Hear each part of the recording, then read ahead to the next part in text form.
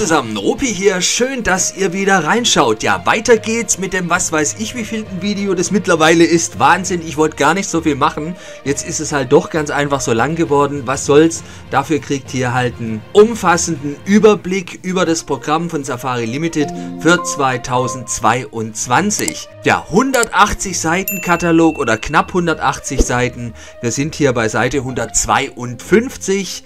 Ich werde auch hier wieder ein bisschen flotter durchgehen. Wenn es euch zu schnell ist, einfach das Bild anhalten, dann könnt ihr euch die Figur nochmal ein bisschen genauer anschauen. Ich werde euch auf jeden Fall immer eine grobe Größe dazu sagen, Höhe, Breite. Dann wisst ihr, ob es zu eurer Sammlung passt. Ja, und dazu wünsche ich euch auch in diesem Teil ganz viel Spaß. Mal schauen, wie weit wir dieses Mal kommen. Es geht weiter mit den Wild Safari Sea Life Tieren bin sehr gespannt, was hier auf uns wartet. Und wir starten hier mit dieser Seite.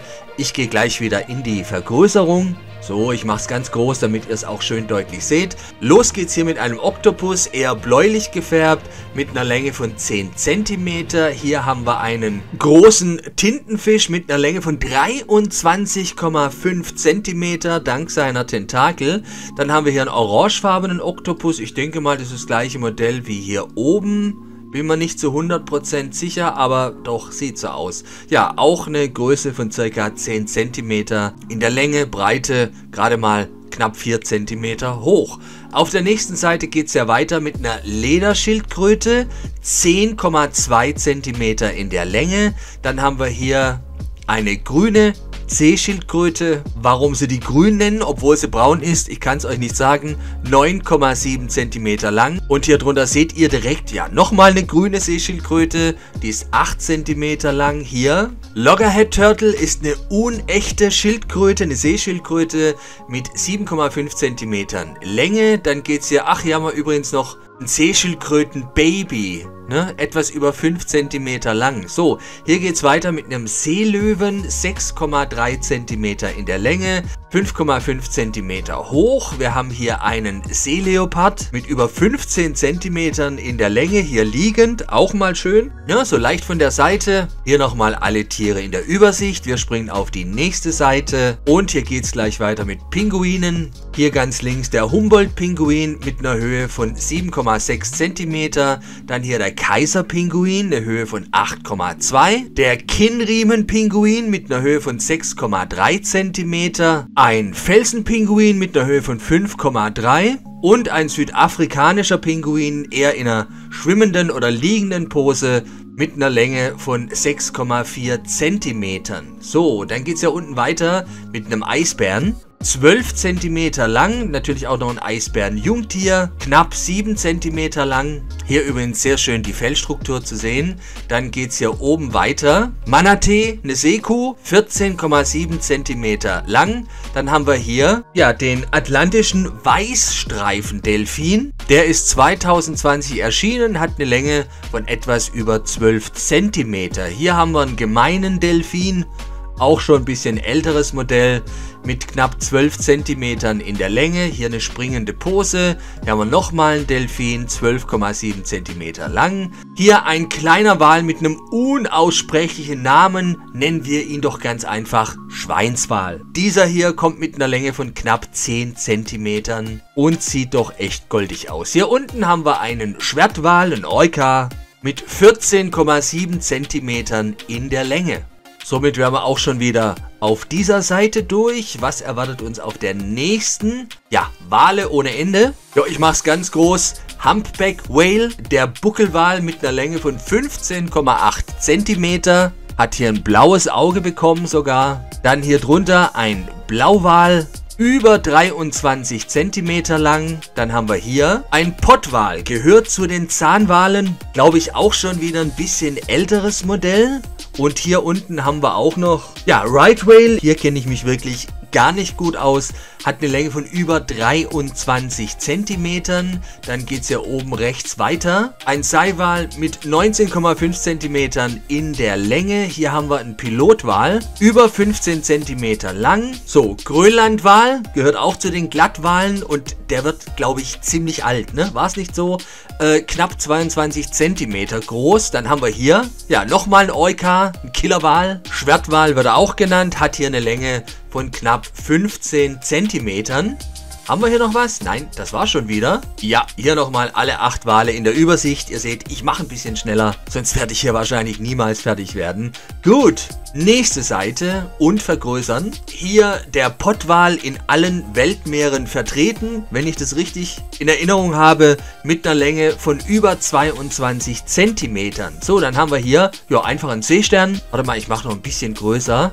So, Seestern, der ist ganz weich aus Gummi, den habe ich da, habe ich glaube ich auch noch nicht gezeigt, ich weiß gar nicht. Mal gucken, 11 cm. Dann, was haben wir hier? Ein Hairochen mit knapp 11 cm in der Länge, hat eine interessante Musterung. Hier haben wir schließlich ein Rochen, ein Manta-Rochen, weit geöffneten Maul, schaut euch das an. Und einer Länge von 14,5 cm. Ja, weiter geht's ja mit einem etwas kleineren Manta-Rochen. Hier haben wir gerade mal etwas über 7 cm. Zentimeter. Hier oben, ja, Mega Mouth Shark, sagt schon der Name, Riesenmaulhai mit der Länge von, ja, etwas über 14,5 Zentimeter. Dann haben wir hier der Basking Shark, also sprich der Riesenhai, wird hier mal locker 10 Meter lang, hat hier aber nur 13 Zentimeter Größe. Dann haben wir hier, ja, ein Hammerhai, 14,7 Zentimeter lang. Dann haben wir hier den großen weißen Hai, 14,5 Zentimeter lang. Auch hier die vielen kleinen scharfen Zähnchen angedeutet, die immer wieder und ständig nachwachsen. Ja, auch diese Seite haben wir wieder durch. Wir springen weiter. Und noch mehr Haie. Weiter geht's hier mit dem Zitronenhai, 14,4 cm, der graue Riffhai, 15,2 cm, der Makohai 15,5, dann der Bambushai. 13,3 cm mit seinen charakteristischen Streifen. Dann haben wir hier einen Sandtigerhai, eine Neuheit von 2020, hat hier übrigens eine deutlich rauere Haut bekommen, sehr interessant, 16,5 cm lang. Hier oben rechts geht's weiter mit einem Bullenhai, 13,4 cm lang, der Weißspitzenhochsee oder auch Weißflossenhai genannt. Warum, wieso, weshalb, das sieht man eigentlich schon an der Bemalung, hat eine Länge von 15,3 cm. Hier ein Weißspitzenriffhai mit einer Länge von 12,7 cm. Ja, der Thrasher Shark, auch Fuchshai genannt, hat hier eine Länge von 15,2 cm. Was haben wir hier? Nochmal ein großer weißer Hai mit 15,6 cm in der Länge. Okay, das war's dann auch schon wieder auf dieser Seite. Wir gehen weiter. Noch mehr Haie. Du liebe Zeit. Hai-Alarm im Ozean. Ja, hier der Schwarzspitzen-Riffhai. Auch hier weiß man, wo der Name herkommt. Mit einer Länge von etwas über 12 cm. Dann haben wir hier einen Leopardhai, 12,3 cm. Ein Zebrahai mit etwas über 10 cm. Dann haben wir hier einen Tigerhai, 13,5 cm. Nurse Shark, hier haben wir den atlantischen Ammenhai. Ist bei der Geburt gerade mal knapp 30 cm groß und wird irgendwann 4,30 Meter lang. Ne? Hier in der Länge von 11,5 cm. Hier unten, ja, haben wir noch den Walhai. Auch hier mit seinem typischen Muster, den Flecken, den Streifen, hat eine Länge von 18,5 cm. Hier drüben, ja, okay, dann sind wir hier durch. Und wir kommen hier zum Monterey Bay Aquarium. Und da würde ich sagen, machen wir auch gleich weiter. Hier mit dem großen weißen Hai mit einer Länge von knapp 22 cm, weit aufgerissenes Maul. Die Zähne allerdings ein bisschen stumpf, wenn er mich fragt. Ja, aber sieht gut aus, wenn er auf dem Tisch steht. Mit den beiden Vorderflossen stützt er sich dann ab. Das gibt schon ein Bild. Ne? Ich mache nochmal ein bisschen größer. So, dann haben wir hier wieder einen Hammerhai mit einer Länge von knapp 20 cm. Hier haben wir einen Blauhai mit dem riesengroßen Auge, 17,2 cm. Ich springe gleich auf die nächste Seite. Hier haben wir einen Beluga-Wal. Auch eine schöne Pose. 21,8 cm lang. Ein Killerwal mit einer Länge von über 16 cm. Hier wieder ein Buckelwal, auch eine schöne Pose, auch eine nette Bemalung. Mit 33,5 cm Länge, ein Riesenteil. Hier ein Nawal, ja, das Einhorn der Meere, 24,5 cm lang und hier ein Grauwal 32 cm. Wow, also das sind richtig, richtig große Teile.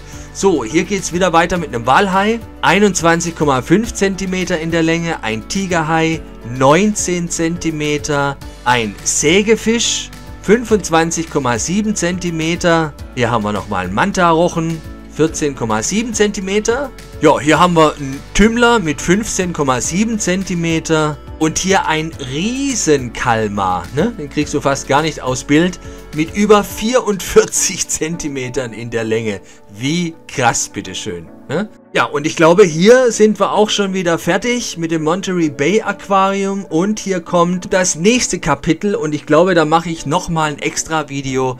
Und dann sind wir durch, ja? Also hier ein kurzer Cut. Jetzt haben wir auch die Meerestiere durch. Im letzten Video wird es nochmal interessant, denn da kommen noch viele, viele kleine interessante Gebiete. Solltet ihr nicht verpassen. Ansonsten hier an dieser Stelle vielen lieben Dank fürs Reinschauen. Wie immer, danke für euer Interesse. Ich kann mich nur wiederholen. Ich hoffe, ihr habt genauso viel Spaß beim Durchblättern wie ich hier mit diesem Katalog. Ich wünsche euch hammermäßig viel Spaß beim Sammeln. Wir sehen uns wieder das nächste Mal. Bis dahin, ciao, tschüsschen, euer Ruppi. Yay!